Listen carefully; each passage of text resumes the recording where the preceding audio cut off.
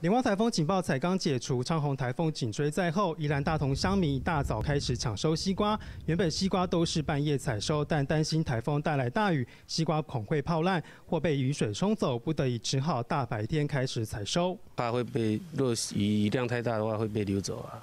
啊，可以抢，可以上车的就可以抢收的先抢收了。嗯，然后就照就尽量减少那个农民的损失啊。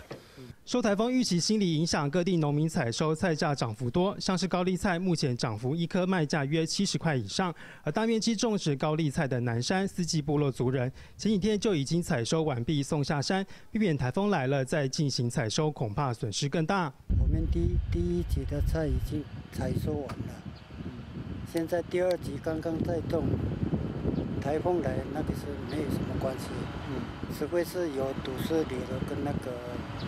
台风太大的话，把这个农作物全部都会流失。这样，长后台风会不会直接袭台，还要观察。但外围环流恐怕会为北区带来丰沛雨量。公路总局养工处独立山公务段长表示，因应昌洪台风来袭，台七甲线已经做好防灾准备。除了开口契约重机具九号将陆续进驻到点待命，入夜后也会视雨量状况进行预警性撤离。啊，那在。今天之前，我们会针对在建工程哈，那会完成那个苍蒙台湾的防灾准备检查，请厂商办理这个部分。那当然，我们的监工人员也会一起办理检查。这上了八点的时候，我们就会成立应变小组。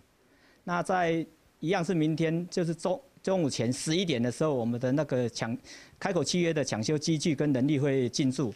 农民开天吃饭，台风来临之前，只好先紧急采收农作物，更担心道路一旦中断，农作物无法送下山，损失伤害会更大。记者北京乌溜宜兰大同采访报道。